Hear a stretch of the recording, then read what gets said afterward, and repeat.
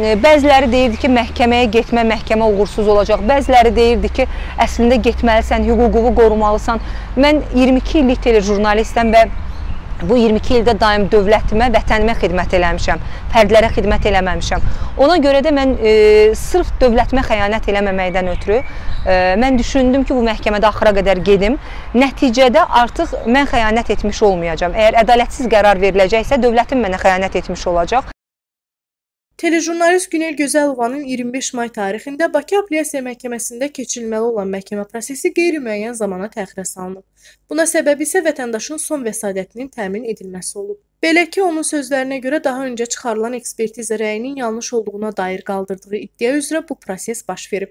Xatırladaq ki, Günel Gözəlova həyat yoldaşı Anar Gözəlovun uroloq-androloq Araz Bayramov tərəfindən əməliyyat edildikdən sonra insult keçirdiyini, nəticədə anlama və nitq qabiliyyətini itirdiyini bildirərək, bununla bağlı Nərimanov rayon məhkəməsinə müraciət ünvanlamış. Nərimanov rayon məhkəməsində verilən qərar şəxsini qane etmədiyi üçün həmin qərardan apellyasiya məhkəməsinə şikayət etmişdi. Qeyd edək ki, bu sayca 7-ci apellyasiya apellyasiya prosesi idi. Mən Günel Gözəlova telejurnalist və artıq ə, e, cəmiyyət belə deyək də bizi həm də ona görə ə, e, yaxından izlədi ki, artıq 2021-ci il fevral ayının 18-də Araz Bayramov adlı bir uroloq tərəfindən həyat yoldaşım tam sağlam olaraq əməliyyata girmiş böyrək əməliyyatına və iki tərəfli beyin insultu ilə anlama və nitq qüsurlu olaraq ayılmışdı. Hətta heç kəsi tanımırdı və 15 e, aydan çoxdur ki, məhkəmə prosesi Daha doğrusu iyul ayından bu günə qədər məhkəmə prosesi davam eləyir. Araz Bayramova qaldırdığımız iddia üzrə artıq iş apellyasiya məhkəməsindədir və apellyasiya məhkəməsində bu gün may ayının 25-də 7-ci iclas keçirildi. Bu iclasda şükürlər olsun ki, bizim keçən iclasda qaldırdığımız yenidən ekspert rəyinin, ekspertiza rəyinin çıxarılması ilə bağlı vəsatətimiz qəbul olundu və qeyri-müəyyən vaxta təxirə salındı. Artıq 3 dəfə həm Nərimanov rayon prokurorluğunda, həm də Nərimanov rayon məhkəməsində ekspertiza məhkəmə tibbi patoloji birliyi rəy verib və bütün rəylər də təbii ki, Araz Bayramovun xeyrinə verilmiş rəylərdir. Sözün hər mənasında xeyrinə verilmiş. Çünki orada ekspertlərə verilmiş sualların demək olar ki, 60%-i doğru düzgün cavablandırılmamışdı. Hətta qeyd olunmuşdu ki, sənəd çatışmazlığı var. Hamı da bilir ki, bütün dünyada həkimlərin yaratdığı e, problemlərlə bağlı məhkəmələrdə ekspert rəyi sırf sənədə əsaslanır. Çünki xəstə müəyyən müddət sonra sağlamlığa doğru da e, irəliləyə bilir, amma e, müvafiq dövrdə, yəni əməliyyat dövründə baş verən hadisələri ancaq sənədlərlə sübut eləmək olur ki, bizim sənədlərimiz doğrudan da hə, bütün sənədlər yəni göstərir ki, Araz Bayramov həqiqətən də e, əməliyyat vaxtı anarı insult keçirdi və eyni zamanda şahidlər bunu təbii ki, təsdiq eləyir. Çünki anar tam sağlam idi və sadə böyrək əməliyyatı, perkutan üsulla böyrək əməliyyatına girdi və əməliyyatdan ayrılandan sonra artıq heç kəsi tanımırdı, qətiyyən danışmırdı və heç nə anlamırdı. Hamımız onun həm də hətta kar olduğunu düşünürdük. Bugünkü məhkəmə qərar verdi ki, yenidən ekspertiza keçirilsin və ekspert rəyindən sonra artıq apellyasiya məhkəməsi qərar verəcək. Düzü apellyasiya məhkəməsinin növbəti mərhələdə nə qərar verəcəyinə də belə bir xüsusi ümidim deyim var, yox, yoxdur. Ancaq mən e, irəliyə gedirəm. Səbəb ondan ibarətdir ki, bir çoxları deyirlər ki, nəyə görə Araz Bayramov çox güclüdür, sən bu işin dalıca getməməlisən, onun pulu var və s. və ilaxır. Bugünün Azərbaycan cəmiyyətinin ən dəhşətli hallarından həm də biri bundan ibarətdir ki, sadə bir həkimlə bağlı, hətta bir neçə dəfə dövlət balnisalarından qovulmuş həkimlə bağlı, özəl bir klinika işlədən həkimlə bağlı hamı deyir ki, o çox güclüdür, çox pulu var, sən bu məhkəmədə dayan. Amma mən təbii ki, dayanmayacağam, axıra qədər gedəcəm.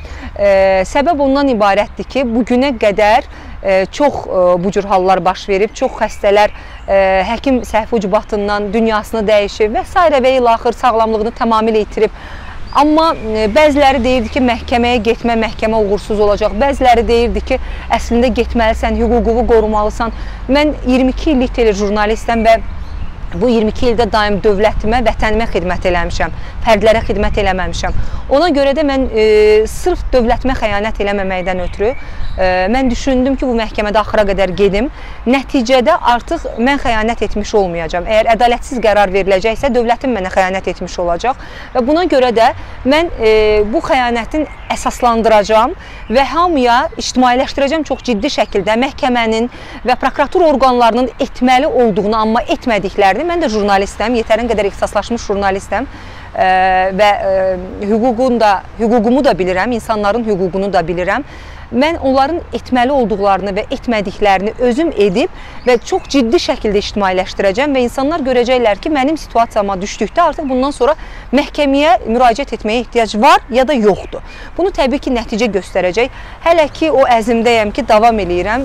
Ümid eləyirəm ki, axıra qədər gedəcəm. Ekspertlərin doğrudan da belə deyək də sənədlərə əsaslanmadan qərəzli rəy verdikləri bir daha müzakirəyə çıxarılacaq. Səhiyyə Nazirliyi yanında Məhkəmə Tibbi Ekspertiza Patoloji Anatomiya Birliyinin verdiyi ekspert rəyləri sual altında qaldı. Ekspertiza bilirsiniz ki, Azərbaycanda e, bir qurum e, səlahiyyətindədir. Səhiyyə Nazirliyi yanında Məhkəmə Tibbi Ekspertiza e, Patoloji Anatomiya Birliyidir və orada e, bütün dünyada bayaq da qeyd elədiyim kimi ekspert rəyi sənədlərə əsaslanır.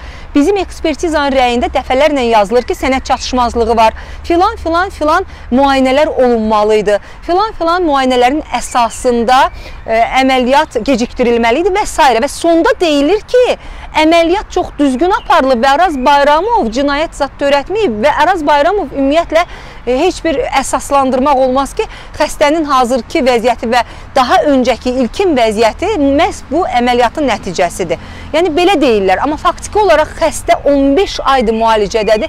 Şükür ki, bu gün uğurlu nəticələrimiz var. Yəni az qala 70% anar sağalıb, amma yəni e, bütün nevropatoloqlar istər Azərbaycandan olan, istər İsraildən olan, istər Almaniyadan olan nevropatoloqlar deyir ki, iki tərəfli işemik insult və subarxanaidal qanaxma keçirmiş şəxsin e, daim ölüm təhlükəsi var və onlar heç vaxt bir mənalı sağalmırlar. Yəni bu danılmaz faktdır. Çox təəssüflər ki, mən də artıq buna alışmışam, ancaq biz müalicəmizi davam elətdiririk, Allaha güvənirik. Qarşı tərəfin e, vəkili təbii ki, özünü itirdi, çünki onlar o qədər artıq pul xərcləyiblər ki, yəqin ki, vəkil söz verib ki, bundan artıq pul xərcləməyəcəksən, ancaq mənə verəcəksən də. Hər halda məhkəmə situasiyaları Azərbaycan cəmiyyətində hamıya məlumdur ki, necə gedir proseslər və Nərimanov rayon məhkəməsində də əgər bu günə qədər 7 məhkəmədir, üst instansiya mənim dövlətimin üst instansiya məhkəməsi olan apellyasiya məhkəməsi qərar verə bilmirsə, hələ qeyri-müəyyən qalıbsa, bu özü onun göstəricisidir ki, ilk instansiya məhkəməsi orada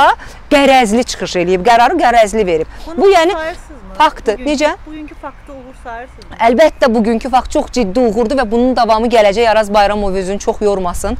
Araz Bayramovu e, paylayır pul e, özünün yazar dostlarına, müğənni dostlarına və s.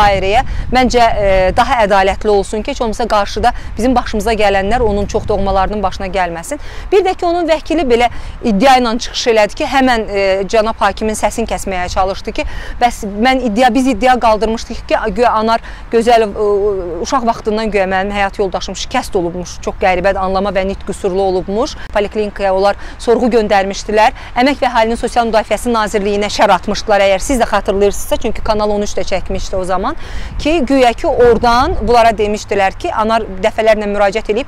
Halbuki mənim e, dövlətimin Əmək və Əhalinin Sosial Müdafiə Nazirliyi anında reaksiya verdi, münasibət bildirdi və e, mənim yazdığım rəsmi məktuba ilə rəsmi anındaca məktub gəldi, araşdırdılar təbii ki, məktub gəldi ki, belə bir situasiya olmayıb. Azərbaycan vətəndaşı olan Anar Gözəlov Yaqub oğlu bu yaşına qədər heç vaxt Əmək və Əhalinin Sosial Müdafiəsi Nazirliyinə əlillik almaqla bağlı müraciət ünvanlamayıb. Ancaq vəkili iddia edir, siz də bilirsiniz və mən istəyirəm ki, bunu dəfələrlə qabardasınız.